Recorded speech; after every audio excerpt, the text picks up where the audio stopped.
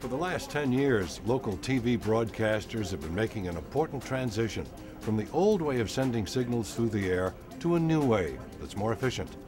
Digital TV means a cleaner, more colorful picture, and it can also mean more choices, more channels to choose from, with multiple channels coming from the same TV station. Initially, all of the attention about digital TV was focused on its high definition capability. With special cameras and equipment, broadcasters are now sending widescreen, crystal clear images with five to six times more picture information and multi channel surround sound. HD TV is a reality for millions of Americans with flat panel television sets selling fast.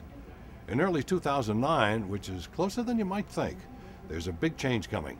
Local broadcasters will turn off their analog transmitters and begin broadcasting exclusively with digital signals. TV stations are making plans for the big switch now.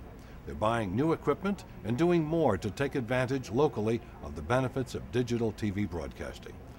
For example, a local TV channel can offer several programs at the same time. In addition to the main feed coming from the network, you might see a weather channel or radar. Some broadcasters are sending four programs at the same time. To fully enjoy this new technology, you don't have to buy a new TV. You can continue to use your current TV and your over the air antenna, but you will need a digital TV converter box like the RCA DTA 800 to receive the digital TV broadcasts. Smaller than a hardback book, the RCA converter box connects to your antenna and television for easy reception of your favorite local programming.